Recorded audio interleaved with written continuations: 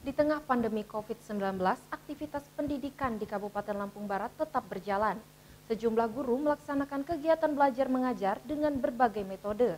Cara ini dilakukan karena tidak semua wilayah kabupaten ini dapat mengakses jaringan internet.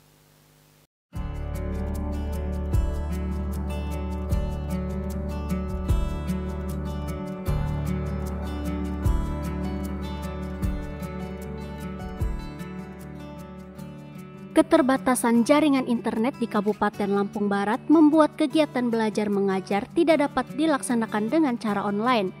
Megawati, guru SD Negeri 2 Pahayu Jaya, Kecamatan Pagar Dewa ini menjalankan KBM dengan metode door to door. Secara terjadwal, ia mengunjungi rumah siswa untuk menyampaikan materi maupun tugas sekolah.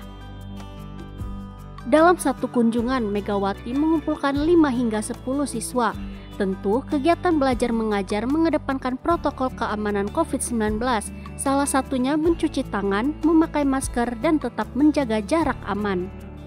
Dari pemerintah kan sudah diarahkan dari kementerian harus e, nonton dari TVRI, sedangkan anak-anak itu kesulitan mencari jaringan TVRI, makanya e, dari orang tua menanyakan apa yang harus dilakukan. Nah harapannya sih bisa memahami hal seperti ini. Jadi bukannya kami tidak mau apa ya tidak mau mengikuti aturan tidak boleh keluar bukan.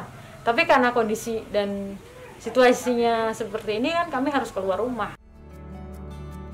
Di lain tempat, Alpes, guru SMP Negeri 1 Kecamatan Bandar Negeri Suwoh menjalankan kegiatan belajar mengajar menggunakan metode semi daring.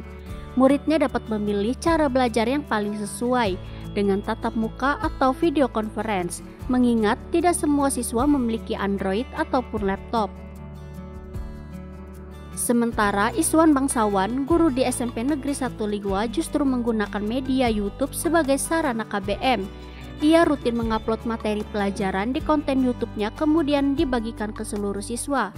Sedangkan SD Negeri 3 Liwa menggunakan media WhatsApp sebagai sarana belajar guru menyiapkan grup diskusi sebagai ruang diskusi dan tugas murid. Semua metode KBM ini merupakan inovasi tenaga pendidik di Lampung Barat. Kepala daerah maupun wali murid mendukung cara ini karena dirasa efektif. Saya memberikan apresiasi khusus kepada para pahlawan tanpa tanda jasa, dalam hal ini para guru yang tidak henti-hentinya melakukan pengabdian, mendidik, ya kan, menciptakan generasi uh, pemimpin yang akan datang. Karena memang dengan cara kerja keras daripada para guru dari Lampung Barat Lampung Eki Ferry Saburai TV melaporkan